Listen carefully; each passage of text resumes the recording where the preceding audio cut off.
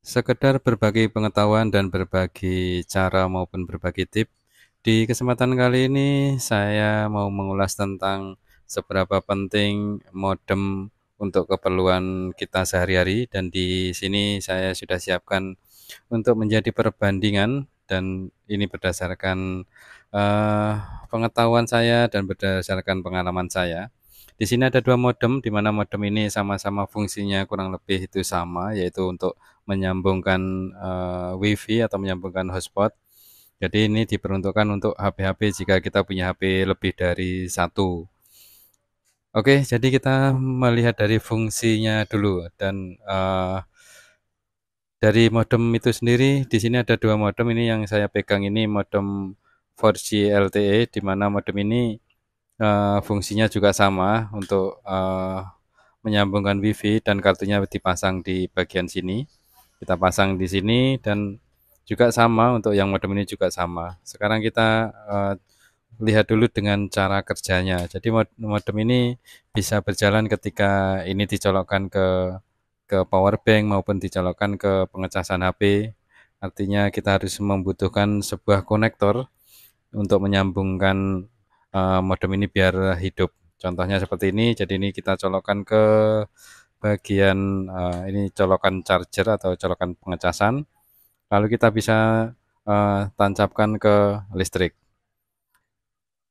Yang satunya ini fungsinya juga sama. Ini juga untuk menyambungkan WiFi juga. Uh, fungsinya di sini juga untuk sama menyambungkan uh, WiFi. Jadi bisa di uh, kalau sudah dipasangi kartu bisa disambungkan ke beberapa HP. Oke, kalau dilihat dari fungsinya seperti ini sebenarnya uh, ini kembali lagi ke kebutuhan kita. Kita mau pilih yang mana. Kalau untuk keperluan yang modem ini uh, sebenarnya bisa dibawa ke mana-mana, tapi agak ribet. Kita harus membutuhkan konektor, konektor yang uh, untuk menyambungkan, untuk menghidupkan modem ini. Kalau yang ini, jadi kalau yang ini lebih simpel karena di sini bisa dibawa ke mana-mana dan ini ada baterainya. Sekarang masalah harganya dibandingkan dengan ini yang satu ini saya beli kemarin dengan di harga yang second kalau yang baru itu ya sudah agak berbeda ini kemarin saya beli di harga sekitar 180-an yang modem ini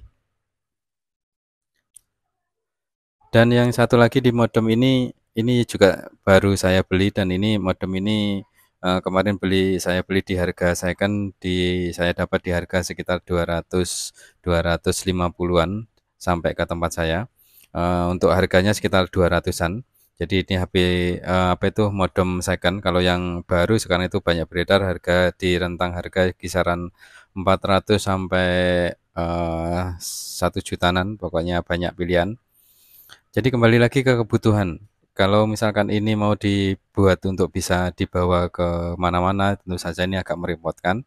Kalau yang ini lebih simpel karena di sini sudah di uh, ini lebih portable karena ini bisa dibawa ke mana-mana karena di sini ada ada baterainya. Jadi ini menggunakan menggunakan baterai seperti ini.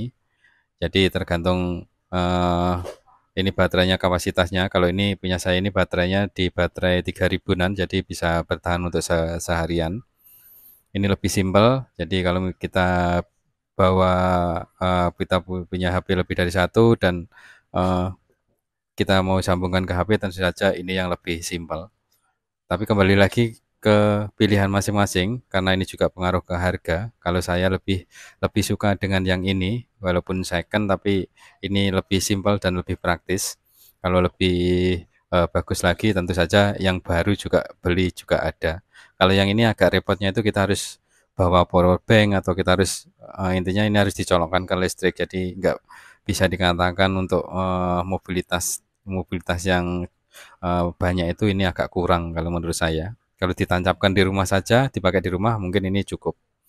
Jadi itu sedikit gambaran tentang uh, modem modem wifi. Jadi seperti itu kalau berdasarkan pengalaman saya untuk uh, kepraktisan atau untuk lebih mudahnya pakai yang mana itu tergantung dari pilihan masing-masing. Semoga saja dari video ini bisa uh, sedikit memberi gambaran untuk keperluan uh, modem. Siapa tahu Anda yang lagi mau mencari uh, modem, jadi harus kita pikirkan terlebih dahulu kebutuhan kita sebatas mana. Mudah-mudahan dari video ini bisa diambil manfaatnya dan semoga video ini bermanfaat. Terima kasih banyak sudah uh, menonton video ini dan Was, eee, matur suwun banyak. Oke, terima kasih dan matur suwun.